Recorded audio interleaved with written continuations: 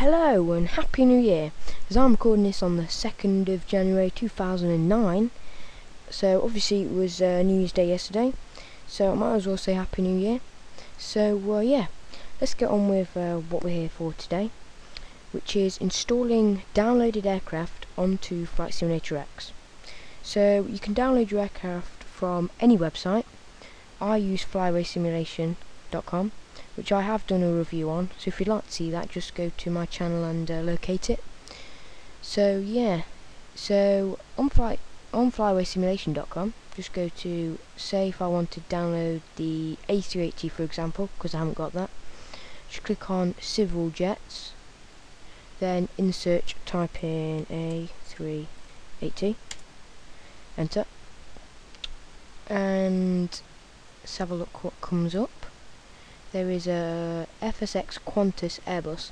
This part of the tutorial, which is part 1, will be showing you how to get in full aircraft, because there is a way to get textured aircraft into Flight Simulator, but that's going to be the second part.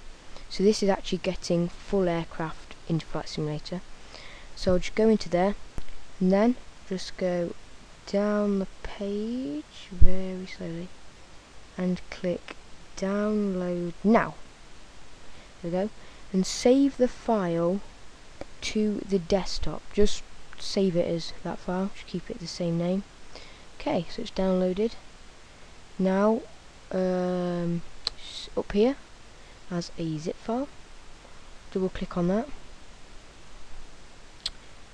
Right so inside the file you have lots of different files. Most of them aren't important like these first ones just readmes and things um, so go into FSX, SimObjects, Airplanes, Qantas. Right.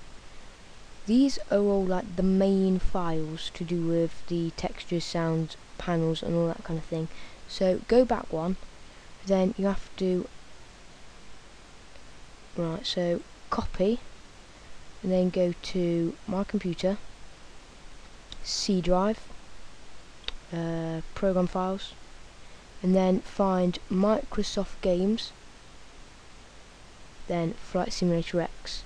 Now, you store all your aircraft in SimObjects. Let's wait to load. Sim objects. Airplanes. And then here are all your aircraft stored in this folder.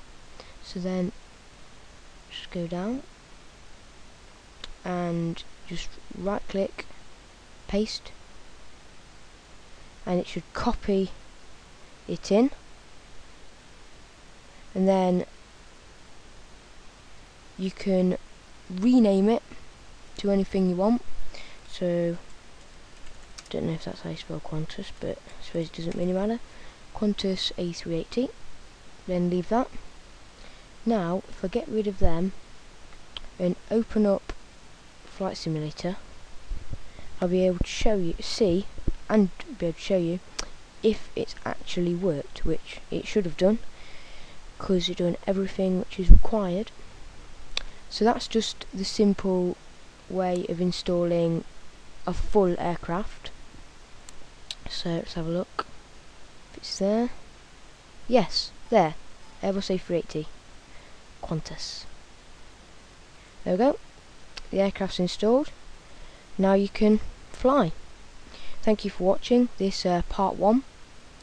I hope you watch the part 2 video which is about um, installing texture only aircraft into Flight Simulator and um, I hope you watch my videos.